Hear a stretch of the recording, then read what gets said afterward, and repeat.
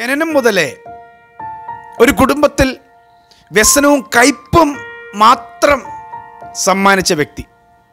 അവനുണ്ടായ ശേഷം ആ വീട്ടിൽ സന്തോഷം എന്തെന്ന് അറിഞ്ഞിട്ടില്ല ഉല്ലാസം എന്തെന്ന് അറിഞ്ഞിട്ടില്ല. അങ്ങനെ ജനിച്ചൊരു വ്യക്തിയായിരുന്നു എബേസ്. പക്ഷെ അവനെ ദൈവം ഏറ്റവും മാന്യനാക്കി മാറ്റിയത് അവനെ ഒരു ബൈബിൾ കഥാപാത്രമാക്കിയതിന്റെ പിന്നിൽ ഒരു ചെറിയ കാര്യമേ ഉണ്ടായിരുന്നുള്ളൂ. വലിയ കാര്യങ്ങളൊന്നും ഇല്ലായിരുന്നു അതാണ് ഇന്ന് ദൈവം നൽകുന്ന സന്ദേശം. ശ്രദ്ധിച്ച് ഈ സന്ദേശം കേൾക്കുക. നമ്മുടെ ജീവിതത്തെ മാറ്റിമറിക്കാൻ ദൈവത്തിന് കഴിയും. നമ്മൾ ജനിച്ചതും വളർന്നതും ആയിരുന്ന സാഹചര്യങ്ങൾ കൊണ്ട് നമുക്ക് വന്ന പരാജയങ്ങളെ ദൈവത്തിന് ചേഞ്ച് ആക്കാൻ പറ്റും. ഭാവി ചേഞ്ച് ആക്കാൻ പറ്റും.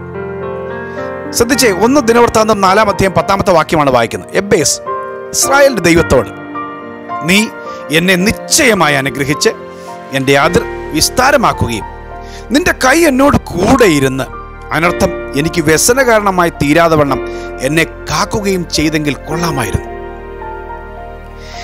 യബേസിന്റെ പ്രാർത്ഥന വളരെ ശ്രദ്ധിച്ചു കേൾക്കണം. ഈ സന്ദേശം കുറച്ചു പേർക്ക് നിങ്ങൾ പങ്കുവെക്കണം കാരണം ഒരുപാട് പേര് അവരുടെ ജനത്തിന്റെ ജീവിതത്തിലെ സാഹചര്യങ്ങൾ കൊണ്ട് മുറിക്കുള്ളിലേക്കും അല്ലെങ്കിൽ നിരാശയുടെ മുറികൾക്കുള്ളിലേക്ക് കയറിപ്പോയവരുണ്ട്. അവരെ പുറത്തു കൊണ്ടുവരാൻ ദൈവം ആഗ്രഹിക്കുക എബേസ് പറയുന്നത് ദൈവത്തോടുള്ള പ്രാർത്ഥന ഇങ്ങനെയാണ്. എന്റെ നീ എന്നെ നിശ്ചയമായി അനുഗ്രഹിക്കണം. അതിന് കാരണം എന്താ? എല്ലാവരും എന്നെ ശപിച്ചിട്ടേ ഉള്ളൂ. എന്നെ അനുഗ്രഹിക്കാൻ ആരുമില്ല. അതുകൊണ്ട് യഹോവയിലുള്ള ഒരു വിശ്വാസത്തിൽ അവൻ പ്രാർത്ഥിക്കുകയാണ് നീ എന്നെ നിശ്ചയമായി അനുഗ്രഹിക്കണം. ഒരുപക്ഷെ നമ്മളെ എല്ലാവരും ശപിച്ചേക്കാം. പക്ഷെ അനുഗ്രഹിക്കുന്ന ഒരു ദൈവമുണ്ട് എന്ന് വിശ്വസിച്ചാൽ മതി. ആ ശാപങ്ങളെല്ലാം നമ്മുടെ ജീവിതത്തിൽ ദൈവം അനുഗ്രഹമാക്കി മാറ്റും. ദാവീദ് അങ്ങനെ ശാപങ്ങളെ അനുഗ്രഹമാക്കി മാറ്റിയവനാ. ഹലലൂയ രണ്ടാമത്തെ അവന്റെ പ്രാർത്ഥന ശ്രദ്ധിച്ചേ എന്റെ അതിർ വിസ്താരമാക്കണം എന്ന് പറഞ്ഞാൽ എനിക്ക് ഓഹരിയൊന്നും എവിടെയില്ല. ഞാൻ ഒന്നുമില്ലാത്തവനാ. എനിക്ക് എനിക്ക് തരാനും ആരുമില്ല. അതുകൊണ്ടോ? മനുഷ്യരോട് അവൻ കൈനീട്ടുന്നില്ല. അവൻ പറയുക യഹോവേ നീ എന്റെ അതിരിനെ വിസ്താരമാക്കണം. അപ്പൊ അവനറിയാം ദൈവം വിസ്താരമാക്കിയാലേ എന്നെപ്പോലൊരാൾക്ക് നന്മ ലഭിക്കുകയുള്ളൂ.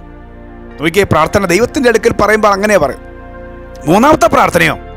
നിന്റെ കൈ എന്നോട് കൂടെ ഇരിക്കണം എന്ന് പറഞ്ഞാൽ എന്നെ സപ്പോർട്ട് ചെയ്യാൻ ആരുമില്ല. എന്നെ എൻകറേജ് ചെയ്യാൻ ആരുമില്ല. എന്നെ എന്നെ എന്നെ ഗൈഡ് ചെയ്യാൻ ആരുമില്ല. എന്റെ കൂടെ നിൽക്കാൻ ആരുമില്ല. നിന്റെ കൈ എന്നോട് കൂടെ ഇരിക്കണം. ആ തിരിച്ചറിവാണ്.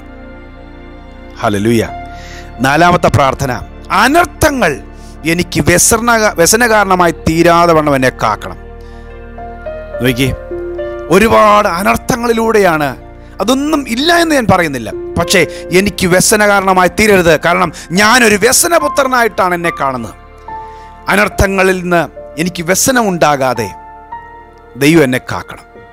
പ്രിയമുള്ളവരെ ദൈവത്തിലുള്ള എല്ലാ പ്രതീക്ഷയും മാറിയാലും ജനനം കൊണ്ട് ചിലരൊക്കെ ജനിച്ചപ്പോൾ തന്നെ നല്ല വീടുകളിലും നല്ല കുടുംബങ്ങളിലും നല്ല സൗകര്യങ്ങളും ചിലർ പറയത്തില്ലേ അവൻ ജനിച്ചപ്പോൾ തന്നെ സ്വർണനാവ സ്വർണക്കരണ്ടിയും നാവിലുള്ളവനായിരുന്നു. അല്ല അങ്ങനെയൊക്കെയുള്ള കുടുംബങ്ങളിലോ ഒക്കെ ജനിച്ച് മുകളിലോട്ട് കയറിപ്പോയ ഒത്തിരി പേരുണ്ട്. പക്ഷെ ഒരു സാഹചര്യം ഇല്ലാതെ എല്ലാം തകർന്നു പോയ സാഹചര്യത്തിൽ ജനിച്ചവരുണ്ട്. അവരുടെ ജനനത്തിന് ശേഷം വീണ്ടും കൂടുതൽ കയ്പിലേക്ക് പോയവരുണ്ട്. അങ്ങനെ ജീവിതം നഷ്ടമായെന്ന് ചിന്തിക്കുന്ന ആളുകളുണ്ട്. പക്ഷേ അവരെ മാറ്റിയെടുക്കുവാൻ ഒരു വഴിയുണ്ട്. അത് എബേസ് അത് ഉപയോഗിച്ചു. വിടുവിക്കുവാനും പശ്ചാത്തലങ്ങളുടെ അല്ലെങ്കിൽ ഭാവിയെ മുഴുവനും ചേഞ്ച് ആക്കാൻ പറ്റുന്ന ഒരു ദൈവമുണ്ടെന്ന് അവൻ വിശ്വസിച്ചു. ഇസ്രായേലിന്റെ ദൈവത്തോട് അവൻ പ്രാർത്ഥിച്ചു. ഇങ്ങനെ നമുക്ക് പ്രാർത്ഥിക്കാൻ പറ്റും അങ്ങനെ ചേഞ്ച് ആക്കാൻ പറ്റുന്ന ഒരു ദൈവമുണ്ട്. ഹലലൂയ ചേഞ്ച് ആക്കാൻ പറ്റുമോ? ചേഞ്ച് ആക്കാൻ പറ്റും. ശാപങ്ങളെ ചേഞ്ച് ആക്കാം. പശ്ചാത്തലങ്ങളിൽ വന്ന ആ മുറിവുകളെ അതുകൊണ്ടുള്ള മുറിവുകളെയൊക്കെ കർത്താവ് മാറ്റാൻ പറ്റും കർത്താവിന് മാറ്റാൻ പറ്റും. അങ്ങനെ പ്രാർത്ഥിക്കാൻ ആരംഭിക്കുമ്പോൾ ദൈവം അത്ഭുതം ചെയ്യാൻ തുടങ്ങും. ഹലലുയ്യ അപ്പൊ ജന്മം കൊണ്ടും കർമ്മം കൊണ്ടും സാഹചര്യങ്ങൾ കൊണ്ടും മറ്റുള്ളവരുടെ മുമ്പിൽ ഒരു നിന്നാപാത്രമായിരിക്കാം കേൾക്കണേ? മറ്റുള്ളവരുടെ മുമ്പിൽ ഒരു അപമാന വിഷയമായി നാം തീർന്നിരിക്കാം. പക്ഷെ ദൈവത്തിന് നമ്മളെ ചേഞ്ച് ആക്കാൻ പറ്റും. നമ്മുടെ ഭാവി ചേഞ്ച് ആക്കാൻ പറ്റും. ഹലലൂയ ലോകം ഇന്നുവരെ കാണാത്ത ഒരു ദൈവികമായ ഭാവി ദൈവം കരുതിയിട്ടുണ്ട്. വിശ്വസിക്ക്. നമ്മുടെ തലമുറയ്ക്ക് വേണ്ടി നമുക്ക് വേണ്ടി. ഈ ഏത് പ്രാർത്ഥന വിഷയമായിട്ടാണ് ഈ വചനം കേൾക്കുന്നത്? ആ വിഷയത്തിന് വേണ്ടി ദൈവത്തിന് ഒരു അത്ഭുതം ചെയ്യാൻ പറ്റും. കയ്പ് മാറ്റാൻ വ്യസനം മാറ്റാൻ. സ്വസ്ഥതയും സമാധാനവും ആഹ്ലാദവും വിശാലതയും കൽപ്പിക്കാൻ ദൈവം വിശ്വസ്തനാണ്. ഹാലലൂയ സങ്കീർത്തനക്കാരൻ ഇങ്ങനെയാ പറയുന്നത്. ധാന്യവും വീഞ്ഞും വർദ്ധിച്ചപ്പോൾ അവർക്കുണ്ടായതിലും അധികം സന്തോഷം നീ എന്റെ ഹൃദയത്തിൽ നൽകിയിരിക്കുന്നു.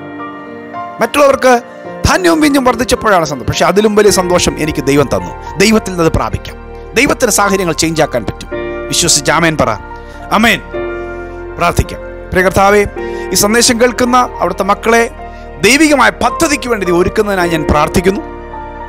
ജന്മം കൊണ്ടും ജീവിതം കൊണ്ടും സാഹചര്യം കൊണ്ടും ഒക്കെ ഒരുപാട് വ്യസനങ്ങളിലൂടെയും തകർച്ചകളിലൂടെയും ഞെരുക്കങ്ങളിലൂടെയും കടന്നു പോകുന്ന മക്കളുടെ ജീവിതത്തെ എബ്ബേസിന്റെ കുടുംബത്തെ ഏറ്റവും മാന്യതയുള്ള കുടുംബമാക്കി വ്യക്തിയാക്കി തീർക്കുവാൻ സഹോദരന്മാരെക്കാൾ മാന്യനാക്കി തീർക്കുവാൻ അവന്റെ അതിനെ വിശാലപ്പെടുത്തിയതും അവൻ അപേക്ഷിച്ചൊക്കെ ദൈവം നൽകിയതിനും കാരണം കർത്താവെ അവിടുന്ന് തന്നെയായിരുന്നു.